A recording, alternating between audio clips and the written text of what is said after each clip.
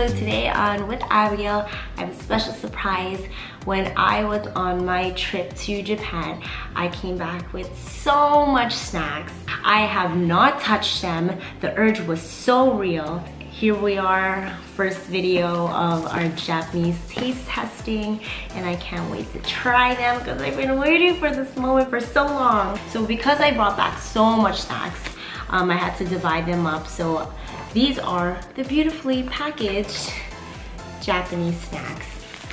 They're like just so cute and ready to go.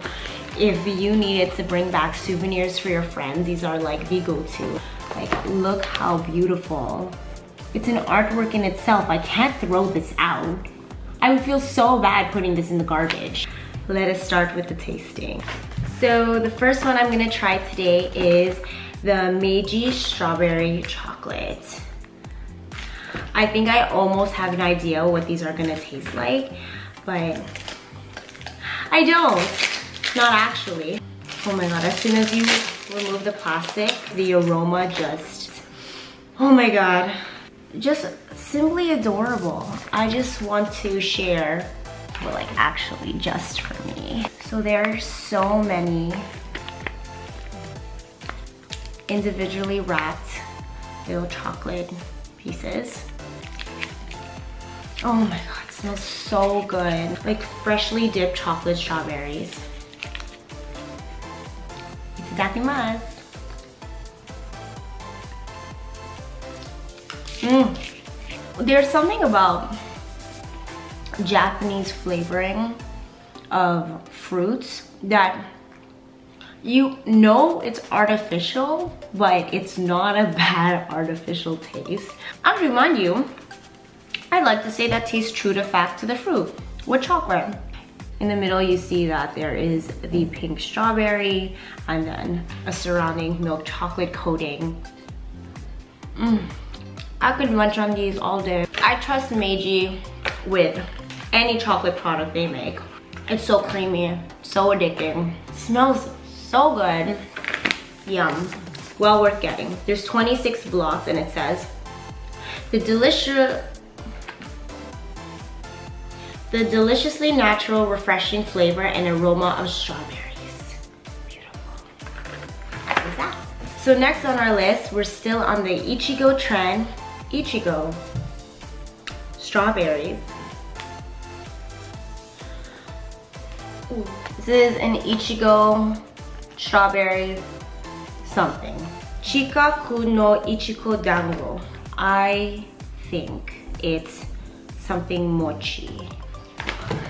These packages, I just don't want to just rip them open like a present. I would just, these are perfect to bring home as souvenirs. I really don't want to ruin this. I'm one of those people who almost want to like save the wrapping paper. Beautiful, I did it. I was correct.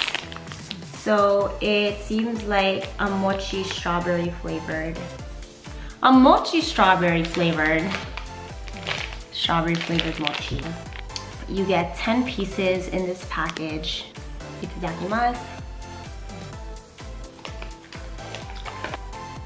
They're all individually small mochi pieces. Actually,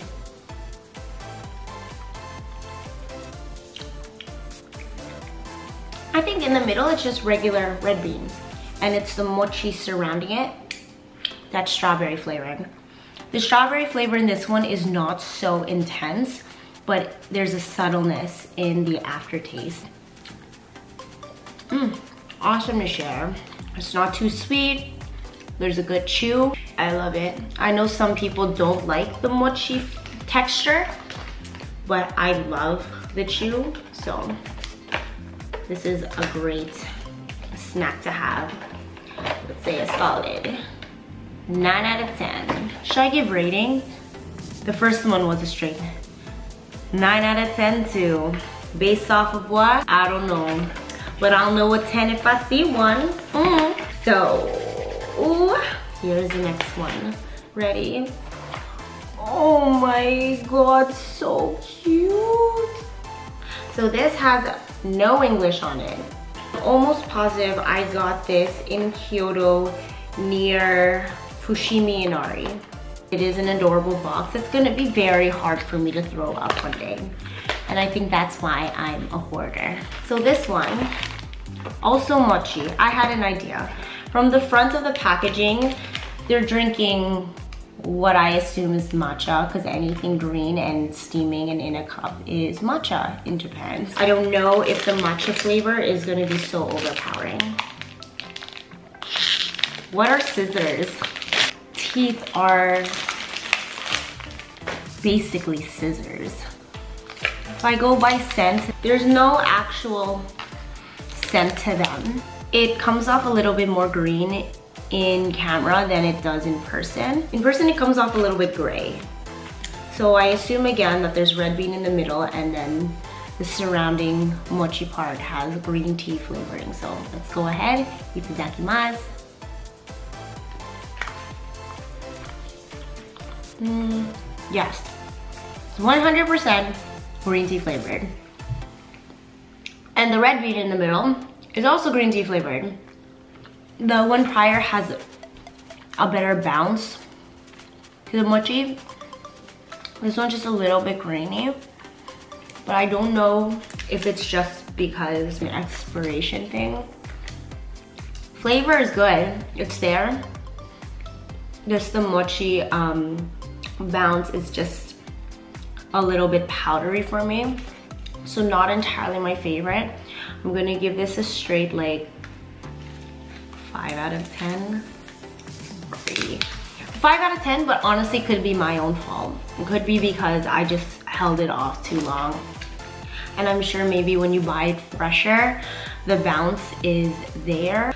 Last but not least, I would say the prettiest packaging I've ever did see.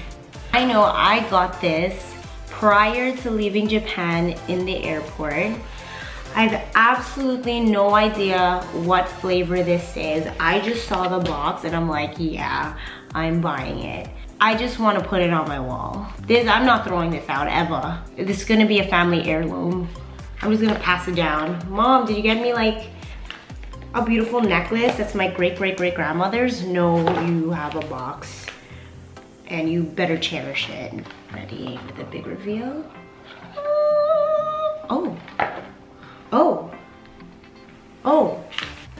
How's the little pamphlet? And uh, so these are called, actually I have to search it up. Tick. I figured it out. So these are called Yatsuhashi. Yatsuhashi is a Japanese confectionery sold mainly as a souvenir sweet. It is one of the best known meibutsu, famous regional products of Kyoto. So there are two here. There's one that's green. Assumptions tell me it's matcha. And then there is a more whitish one here. Ooh. So the smell of these are so strong. It's a very earthy, intense flavor.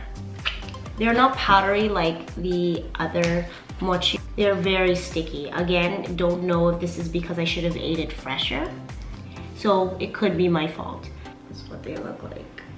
Itadakimasu.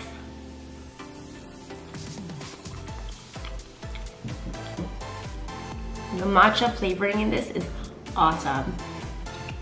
It's super earthy, subtle,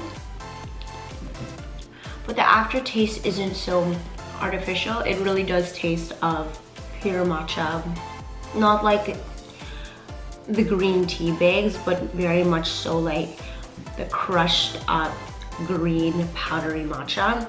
That's what this tastes like. Chewy part would have been more chewy and more delicious if I ate this fresher. Still really good, but it's not chewy. It's just like almost gooey. It's like all over my fingers. Disgusting. But in the best way possible.